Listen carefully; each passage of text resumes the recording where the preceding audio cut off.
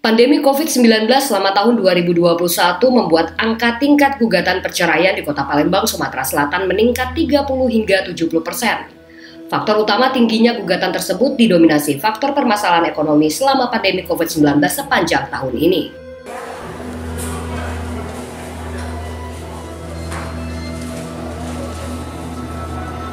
Laku komplotan. Pertamina pastikan stok BBM dan LPG. Palembang Baru TV. Kami Lukas. Aktual, independen, dan terpercaya.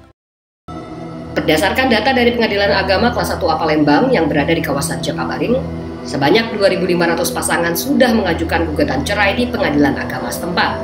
Akibatnya, hal itu memunculkan janda dan duda baru.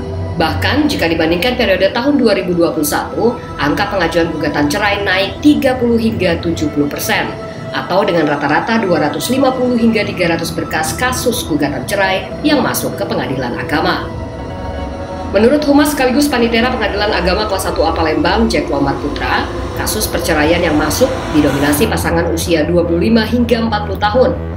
Faktor utama tingginya gugatan tersebut adalah permasalahan ekonomi, di mana sebelumnya ada pemberlakuan pembatasan kegiatan masyarakat atau PPKM level 4 di Kota Palembang yang membuat perekonomian masyarakat terganggu, seperti berkurangnya pendapatan ataupun banyak yang menjadi korban PHK selama pandemi COVID-19 di sepanjang tahun 2021 yang berimbas menimbulnya permasalahan rumah tangga hingga berujung ke tingkat gugatan perceraian. kalau ini perbandingan perbandingan antara cerai gak tu- talak dengan cerai gugat ini sekitar eh, 30-70 persen. Oh. Apakah usia di kisaran berapa? 20 atau Kalau 30? usianya ini kalau di anu, usia 40 tahun ke bawah berkisar antara 2, eh, 25 sampai 40 tahun.